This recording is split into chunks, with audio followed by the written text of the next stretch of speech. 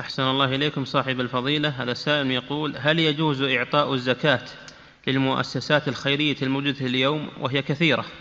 المؤسسات اللي معروف عنها أنها تدفع الزكاة للفقراء توثق أنها تدفع الصدقات للفقراء تعطى. أما اللي تأخذ الزكوات وتجعلها بالصندوق وصناديقها وتوفيرها ولا تهتم بصرفها للفقراء وتخلطها مع التبرعات لا يجوز إعطائها لها فلا تعطيها إلا لمن تتأكد أنه يوصله إلى الفقير. نعم.